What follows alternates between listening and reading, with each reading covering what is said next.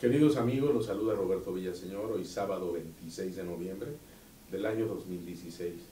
Anoche, a las 11 y 24 de la, de la noche, falleció Fidel Castro Ruz, el autor de la Revolución Cubana.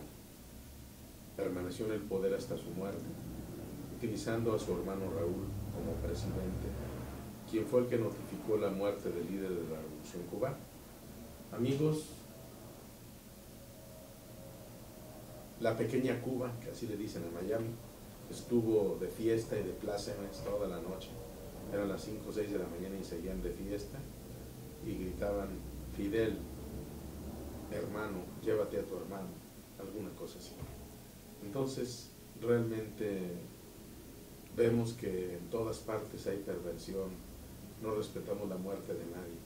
Finalmente, pues esa revolución que quitó algunos privilegios, pues hizo que Cuba tuviera mucha cultura, mucha estabilidad económica. Obviamente los más ricos perdieron privilegios, se fueron a los Estados Unidos y mal no les ha ido a los cubanos. Sin embargo, nosotros no vamos a ser los jueces, sino la historia. Obviamente Cuba, hoy por hoy, pues aunque pareciera que es un régimen socialista, pues vemos cómo se fueron dando condiciones para que ya estuvieran regularizadas las relaciones con los Estados Unidos. Ya hay un consulado, antes había una oficina de negocios, hay un consulado de los Estados Unidos en La Habana. Hay mucho por decir, sin embargo lo más importante es que haya justicia. No podemos imaginar cómo existe tanto dinero en el mundo que yo podría casi afirmar por, por lo que conozco que debe haber mil trillones de dólares por cada, o de euros, es intrascendente si es de euro o es de dólares, por cada ser humano que existe en el mundo. Si somos 5 mil millones de seres humanos y hay grupos económicos que tienen trillón, miles de trillones, otros tienen trillones de dólares y de euros, en fin, créeme, créanme que es increíble que lo que haya es injusticia, pobreza, hambre e ignorancia en el mundo. Y hoy, acompañados de la violencia y de la delincuencia organizada. ¿Por qué?